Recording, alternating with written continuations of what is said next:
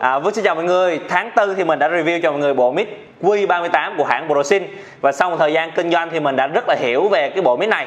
Thì ngày hôm nay mình sẽ chia sẻ cho mọi người năm cái ưu điểm mà bộ mic này có khác với những cái mic ngoài thị trường và những cái khuyết điểm mà mình cảm thấy không hài lòng về bộ mic này.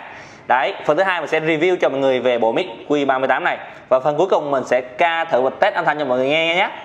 Bắt đầu ưu điểm đầu tiên đó mọi người đó là nó có thể hát bằng hai chế độ nhạc một là reverse hai là echo. Reverse cho những người hát giọng tốt. Đấy nhưng mà cái này cũng là cái khuyết điểm đó mọi người. Khi chúng ta hát chay á thì hát reverse rất hay. Nhưng mà khi chúng ta hát chúng ta không chuyên á chúng ta hát với reverse nó rất là khó hát. Khi chúng ta hát với nhạc thì chúng ta nên hát bằng chế độ echo nhé. Echo là như thế này nè. Cần thêm bao nhiêu nắng?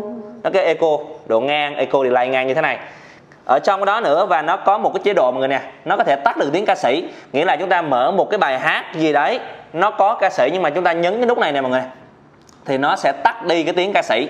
Đó, nó sẽ giảm đi cái phần âm chung, nó chỉ có âm bass và âm chép để chúng ta có thể hát trên cái nền nhạc của ca sĩ luôn. Rồi, có một cái điều quan trọng nữa mọi người, là mình bấm nhầm. Có một điều quan trọng nữa mọi người, là ở những cái phòng như toilet đi nó rất là nhỏ. Nhiều lúc chúng ta cũng sách cái mic này vô toilet chúng ta hát thì sao? Hoặc cái phòng ngủ chúng ta quá nhỏ đi. Thì nhận cái mic hồi bữa mình hát mình test trong video trước mọi người thì nó sẽ bị hú rất là mạnh. Nhưng mà bộ mic này vào đó nó sẽ không bị hú. Chức năng chống hú rất là tốt. Rồi cái ờ, cái ưu điểm thứ hai đó mọi người là rất là nhiều khách đến đây và khen về độ đẹp và cũng như là độ sắc nét những cái góc cạnh của nó. Mọi người có thể xem vào đây. Đây những cái góc cạnh này. Đó, cái này là nó bảo vệ bên ngoài nha những cái góc đó nè. Rồi góc ở trên nè. Nó góc ở bên. Cái lớp sơn của cái này. Cái lớp sơn ở đây. Rồi cái này là ở dưới. Đấy, cái bộ mít ở phía dưới đây. Rồi đấy đây là cái góc cạnh của nó làm mọi người nhé. Cái ưu điểm thứ ba đó mọi người đó là nó rất là tiện lợi ở việc chúng ta có thể mang đi và chúng ta có thể thay pin đó mọi người. Một số cái mic khác thì nó nguyên bộ này nó nguyên khối luôn chúng ta không thể thay pin nên nó gây nên một trường hợp là sau này khi pin nó bị chai nó bị hư thì chúng ta rất là khó sửa chữa chúng ta ngại vấn đề đó. Còn bộ mic này nó có thể thay pin được. Mình biết được điều này nên là khi mua một bộ mic này tại Gula thì bên mình sẽ tặng cho người là hai viên pin như thế này để chúng ta có thể thay thế khi chúng ta sử dụng nha. Và bộ này nó còn có thể sạc được bằng cáp sạc à, USB thế này để chúng ta có thể sạc bằng à, cục sạc điện thoại hoặc là cục sạc dự phòng đều được nha. Và hai viên pin này nữa. Thì một uh, viên pin chúng ta có thể sử dụng khoảng một tiếng tiếng mấy đó cũng là khuyết điểm. Nhưng mà chúng ta có thể thay được thì chúng ta có thể sử dụng được nhiều thời gian hơn. Ví dụ mình mở ra nè. Đấy. Tắt rồi đúng không? Mở lên. Mở ra đây. Thao tác lại rất là đơn giản gắn vào. Nhấn giữ nha. Alo. Một hai sáu bảy tám này là chế độ reverse này mọi người nè. Hồi nãy đó mình hát bằng echo á nó rất là dễ hát khi mà hát với nhạc. Cái này hát chay thì hay nhưng mà hát với nhạc thì nó rất là khó hát. Cần thêm bao nhiêu nắng để vừa bóng tối lạnh lùng? Đấy đây là chế độ này mọi người nha. Rồi cái thứ tư đó mọi người là à, độ an toàn của nó. Tại vì hồi xưa khi mà mình à, bắt đầu kinh doanh lo kéo, mọi người có thể nhìn cửa hàng ở đây nè. Lâu giờ thì mình hầu như mình kinh doanh những cái bộ lo kéo không là chính. Tại vì cái tiêu chí của mình, một cái bộ micro cầm tay quan trọng nhất vẫn là cái độ an toàn. Trước nay mình kinh doanh lo kéo thì không có trường hợp nào mà nó bị cháy nổ xảy ra. Nhưng mà những bộ loa bộ mic như thế này thì đã có những hiện tượng ở những thời gian đầu, ở những cái sản phẩm trôi nổi mà không có thương hiệu cũng như là không có độ an toàn. Đó thì mình không kinh doanh, nhưng mà mình chỉ kinh doanh bộ này. Đấy, vì mình đảm bảo về sự an toàn cho mọi người tại vì ờ, uh, micro này của hãng Prosin Prosin này là một cái hãng một cái hãng uh, đây tem bảo hành đấy mọi người nè tem Prosin đây. Đấy một cái hãng lo kéo rất là nổi tiếng rồi. Từ tết đến nay là hãng này rất là nổi luôn. Và cũng như là ông chủ của hãng này thì đã làm về ngành âm thanh rất là lâu rồi nên là mình có sự tin tưởng ở cái hãng hãng này. Thì uh, hãng Rosin sẽ bảo hành bộ mic cho chúng ta là 12 tháng pin này sẽ không bảo hành. Nhưng mà pin này cũng chúng ta không cần phải lo nữa tại vì mình đã tặng cho người hai viên pin. Hoặc sau này có thể mua thêm để chúng ta sử dụng nếu thời gian chúng ta sử dụng lâu nhé. Rồi cái thứ năm ưu điểm thứ năm mọi người là bộ mic này có thể hát vào một cái lo khác nha mọi người nha. Hát vào một cái lo khác. Ở đây thì nó có một cổng đó mọi người nè. Cổng này là cổng out nó có thể hát vào bất kỳ cái lo nào nếu cái lo đó có cổng in về âm thanh nhé. Nhưng mà khi hát đó nó cũng có một khuyết điểm đó mọi người. Nghĩa là uh, khi mà hát với lo này thì nó có echo nhưng mà hát vào lo khác thì nó không có tiếng echo nó chỉ có tiếng reverb thôi. Mình sẽ thử cho mọi người nghe thử nhé. Ví dụ đây là dòng loa cái này là cái loa của mình đây. Loca Beatsbox uh, ờ, uh, ờ, KS361S đi. Nhấn vào mình thử nha. Cái này là cái dây của mình nhé. Đó. tại vì uh, nếu mà những cái dây chúng ta có thể bỏ thêm tiền chúng ta mua những cái dây này thì truyền tín hiệu âm thanh tốt hơn. Nhưng mà cái này dành cho những cái loại xịn hơn. Còn ví dụ như những cái bộ mic như thế này thì chúng ta có thể sử dụng bằng dây này là ok rồi. Cũng tương đối dài đó dây này của hãng này mọi người nè. Rồi cái này mình ghế ra cho nó tiện thôi. Thử nha. Cắm ở đây cắm phía sau bật lên. Earphone sim. Alo, 6, 7, 8 mọi người nghe rõ mà. Cần thêm bao nhiêu nắng Để vừa bóng tối lạnh lùng? Đang đang phát ra cái loa bự mọi người nè. Đang phát ra loa bự nha đấy. Rồi. Đó là năm cái ưu điểm mọi người nhé. Cũng như những cái khuyết điểm mình đã chỉ ra cho mọi người đó. Những khuyết điểm là sao? Thứ nhất là nó hát vô cái lo này, hát vô những cái lo khác, nó bị mất tiếng echo. Và khuyết điểm thứ hai đó, mọi người, những bộ mic này thì chỉ phù hợp chúng ta sử dụng cá nhân hoặc một nhóm người khoảng 3 đến 4 người thôi, mọi người. Đó, nó chỉ, ưu điểm là nó tiện để chúng ta đem đi đây đi đó hoặc hát trên những cái xe hơi chúng ta có thể cắm cái dây này, cắm cái dây này để truyền tín hiệu vào cái lo xe hơi cũng được luôn. Nhưng mà nó bất tiện cái là nếu mà không gian ồn ồn chút là chúng ta hát nó không nghe được. Đó, chỉ phù hợp xe hơi hoặc trong phòng, hoặc nhóm khoảng ba bốn người, hoặc là cá nhân đổ lại thôi là ok. Rồi, bây giờ mình sẽ review cho mọi người về bộ mic này nha. Tận tình kỹ hơn chúng ta. Rồi, chúng ta có thể mở ở cái đầu này ra. Đấy, bộ cái đầu mic nó mọi người nè đấy nó khác với những cái đầu mít khác. Hồi bữa mình có quay cho người nó có một cái đầu cái đầu của mít nó có chút xíu à cái côn mít chút xíu. Còn đây là cái đầu mít của nó mọi người nè. Rồi. Đấy. Đây.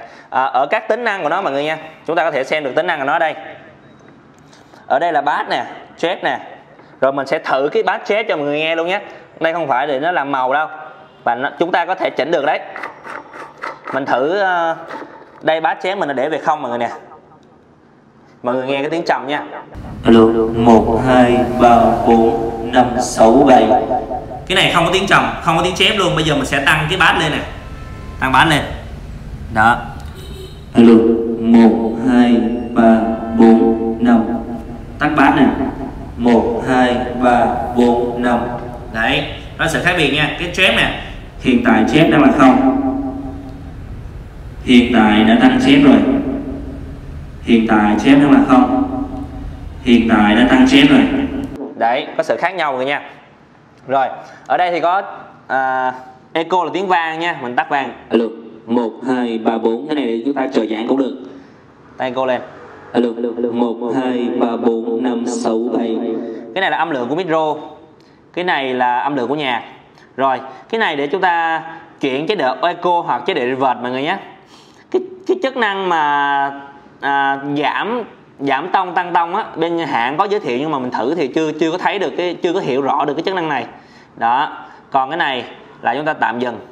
Đấy hoặc nhấn giữ cái này là hiệu ứng để chúng ta hát hoặc chúng ta nhấn giữ thì chuyển chế độ echo hoặc reverb nhé. Rồi cái này là nguồn nút nguồn nha. Please select mode. ở đây chúng ta có thể là bộ gắn một cái đây để chúng ta bảo vệ về nước bọt đấy. Rồi đây có nguyên một cái bộ à, cái này chúng ta có thể dán ở đây để nó bảo vệ những cái nút ở đây. Chúng ta khỏi ấn tại vì nó lồi ra. Có một cái bộ này để chúng ta có thể gắn thì chúng ta đem đi. Rồi à, một cái dây cắm sạc như thế này. Rồi và mình đã nhờ bên hãng đó mọi người. Mình đã nhờ bên hãng là tháo nguyên cái này ra. Mọi người có thể xem hình đây nè. Xem hình đây nha. Đấy thì nó có hai cái loa một cái loa trước là à, loa bass đó cũng như là loa chung. Có chép là một cái loa toàn giải luôn đó mọi người. Bên cạnh nó thì có một cái à, một cái màn cộng hưởng để cho tiếng bass nó sâu hơn. Đấy nhờ bên hãng là tháo banh nguyên cái loa này ra với được cái cái hình ở bên trong cho mọi người xem đó nha. Ok và phần cuối và phần cuối cùng bây giờ mình sẽ ca thử cho mọi người nghe thử nhé. Alo, alo, alo, alo. 1, 2 thử nhé. Mình đã kết nối với loa này rồi mọi người nè.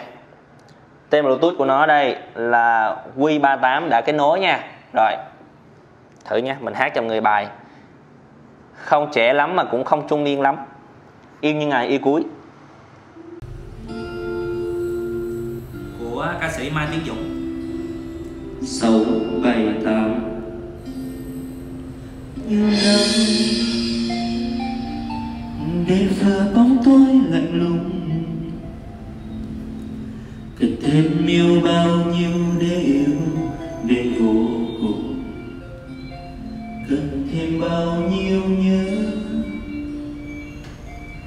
để lòng bất những dài khơi cần thêm đâu bao nhiêu để em thôi hững hờ. Cần thương em bao nhiêu? Cần gọi tên nhau thật nhiều? Để tìm trái thành tim khi ngoài kia đêm trắng thiêu điều.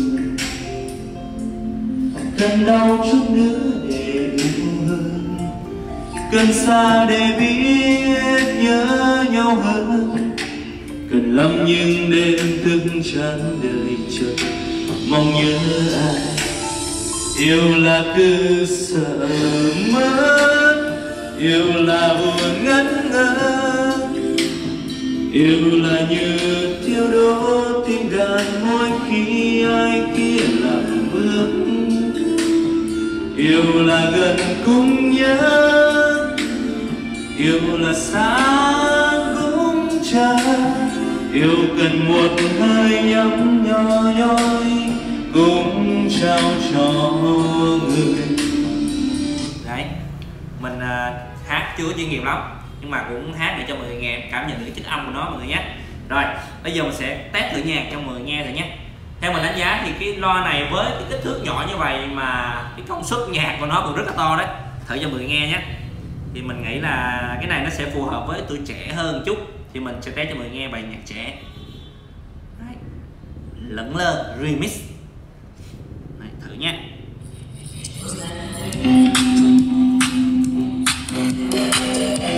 Mọi người nghe gì không ạ? À? nó không có bass nhiều cũng như đó tại vì ở chế độ này nó đã tắt tiếng ca sĩ rồi đó mình sẽ mở lại cái tiếng ca sĩ đây nè.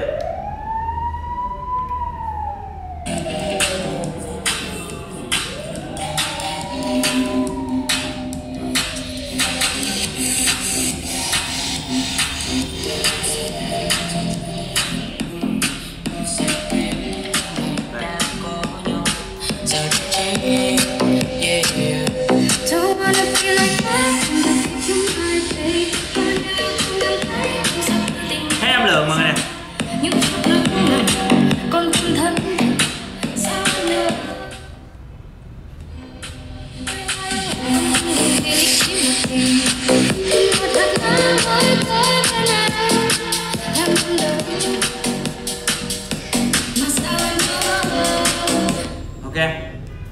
ơn tất cả mọi người đã quan tâm theo dõi video. Nãy giờ thì mình đã chia sẻ cho mọi người là năm cái ưu điểm và hai khuyết điểm của dòng loa này.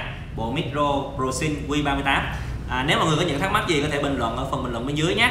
Đấy và mọi người à, có thể kết nối Zalo và số điện thoại của mình ở bên góc à, trái của màn hình đó là hotline 09 09 366 533 nha nếu mọi người muốn test âm thanh của bộ này có thể đến trực tiếp địa chỉ là Gula số 4 Tân Hải à, phường 13 quận Tân Bình ngay ngã ba trường trên giao với Tân Hải. Bye bye, xin chào và hẹn gặp lại. Mọi người nhớ nút đăng ký kênh để cập nhật những video mới nhất nhé.